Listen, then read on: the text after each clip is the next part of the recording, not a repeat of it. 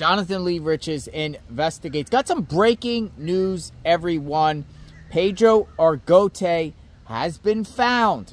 Pedro is the individual that was suspected of murdering Maryland Circuit Court Judge Wilkinson, Andrew Wilkinson, and he has been found deceased. Deceased. About a mile away from where his car was abandoned. Williamsport, Maryland, Washington County, Maryland. Let's talk about Pedro right here. The authorities put out a statement. I'm going to share that statement with all of you.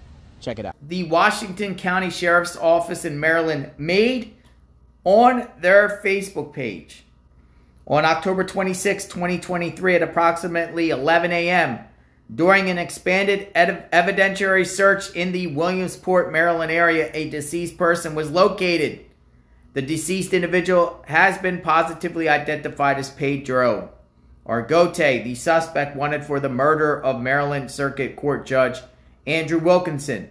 The deceased was located in a heavily wooded area between Clear Spring Road and Bottom Road, approximately one mile northwest of where the suspect vehicle was found.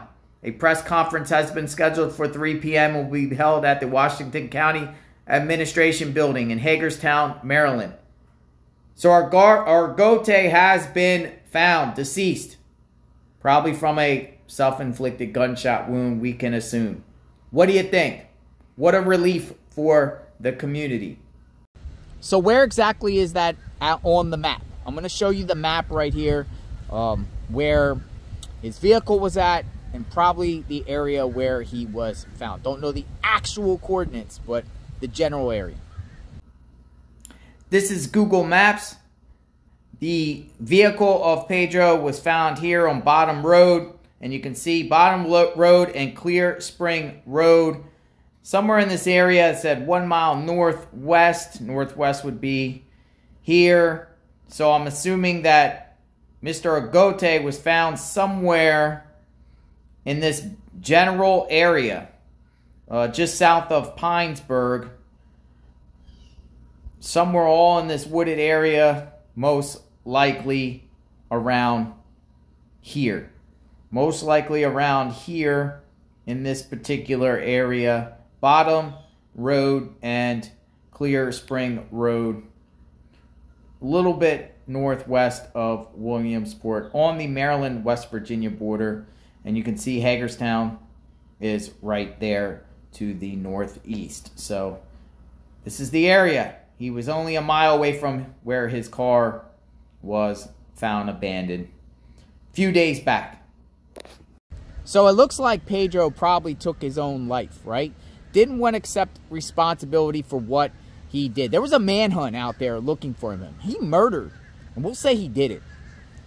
I say allegedly, but we'll say he did it. He murdered a innocent judge who, the day the judge was murdered, there was a court hearing between Pedro and his wife, and the judge ruled in favor of the wife and gave the wife custody of the children. At one point during these court proceedings, ordered Pedro to pay child support, a large amount of money. Is that what made Pedro snap? And if so, there's no excuse for that. A judge lost their lives. They hear both sides. Probably something wasn't right clicking in Pedro's head. Uh, this looks like this tragedy, as far as the manhunt for Pedro, is come to an end. Have given out a press conference. I'm going to be covering the press conference with actual details, but we've been covering this case extensively. So prayers out to the law enforcement that were out there looking for him, the family of Mr. Wilkinson, of course, the neighbors, the neighborhood, the community, the judicial branch of Maryland. Uh, we are praying for all of you on JLR Investigates. Subscribe to my channel, like, hit the notification button. Let me know what you think about the conclusion of Mr. Pedro. We will talk soon. Stay tuned.